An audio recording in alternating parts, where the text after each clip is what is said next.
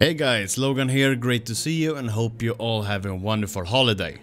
Today I want to show you a little hidden feature within Battlefield 1 and the companion app. This little feature is for the new LMG, the M1917MG, both for the telescopic version and the low weight. And this is a new LMG that was released with the Turning Tides DLC.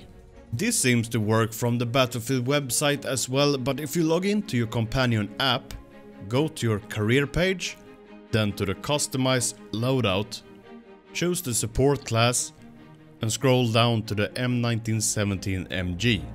Note that this does not work from within the game, you have to be on the website or in the companion app as I am right here.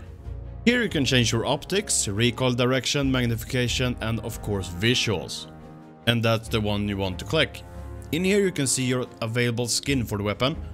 As you can see I've got one called an escalation. This skin has not been in any other revisions and I didn't get it in any battle packs. This skin can be applied to the weapon through the app or the website as it seems right now, and as you can see it looks pretty cool. Short little video today, but that's all I had for you. Make sure to subscribe and leave a thumbs up to support the channel, and don't forget to leave your comment down below. I hope to see you in my next video, this is Logan signing out.